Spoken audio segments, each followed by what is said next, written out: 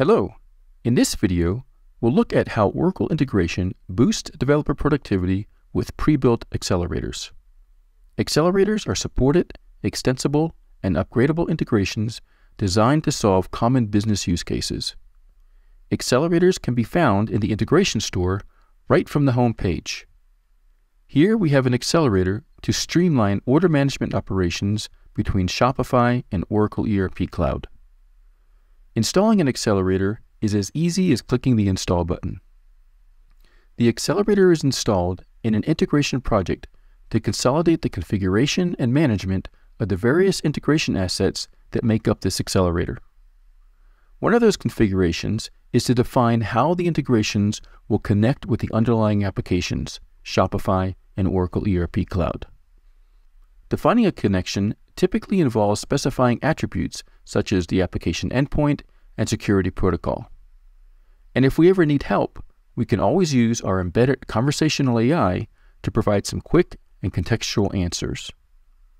Of course, integrations are where we orchestrate the various activities between the applications. This accelerator contains an integration to create an ERP Cloud purchase order when a Shopify order is placed, and another to update the Shopify order fulfillment once the purchase order is closed.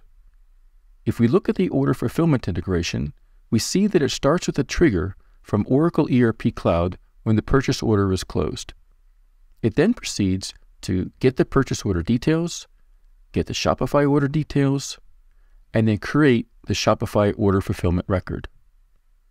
If we drill down into the Shopify create order fulfillment operation, we can see how the pre-built integration is populating the order fulfillment record with the data previously collected in the integration. This is all good, but we notice the accelerator is not using the notify customer field. This field directs Shopify to notify the customer when the order has been fulfilled. So we want to extend this integration to send the customer notification.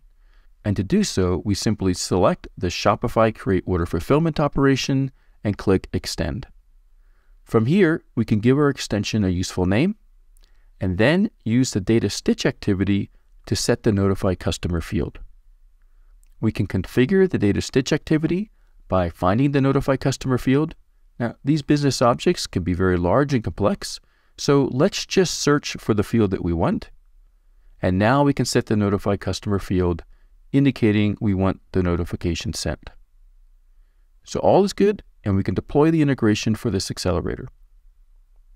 So we've been successfully running our integration, and if we fast forward a bit, we see that Oracle has released an update to this accelerator.